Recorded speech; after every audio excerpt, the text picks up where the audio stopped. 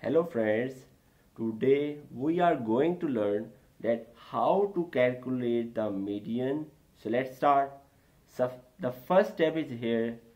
You have to calculate the cumulative frequency. The very simple method. First of all, you have to write the first value as it is, as is 2. Next, 2 plus 5 will be here 7 7 plus 7 will be here 14 14 plus 8 will be here 22 and next 22 plus 1 will be here 23 that's the first step.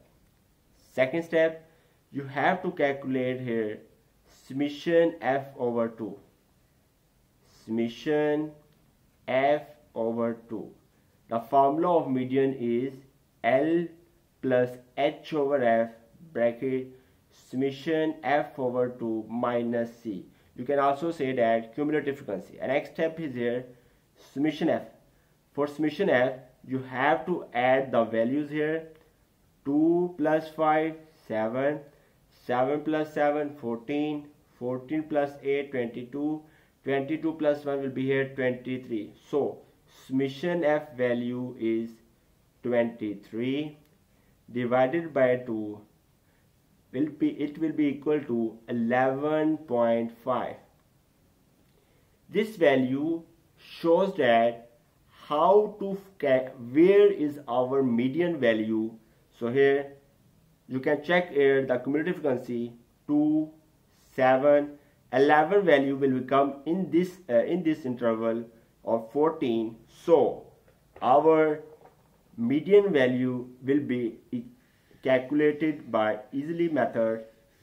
So here the value of the value of lower limit which will be here 8 and next h is the class size.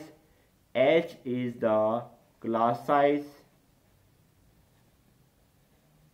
which is equal to upper limit minus lower limit. Here 12 minus 8 it will be equal to the value will be here 4 exact? And next step will be here f. F is the frequency. So the selected group is here 7 so this is value will be here f. And next C value. C value is always the upper value here.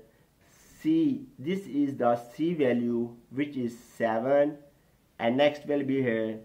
You can easily calculate the value. L is here 8.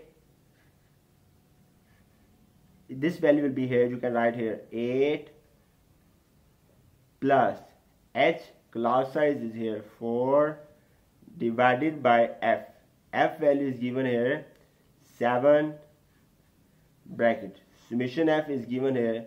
Summation f over 2 we have already calculated which is 11.5 minus. C value is here 7 you can easily solve this question. By solving this question we will get the answer. Comments? The comments that what is the value of median you have calculated Thanks for watching this video. Please share this video with your friends and classmates. Goodbye.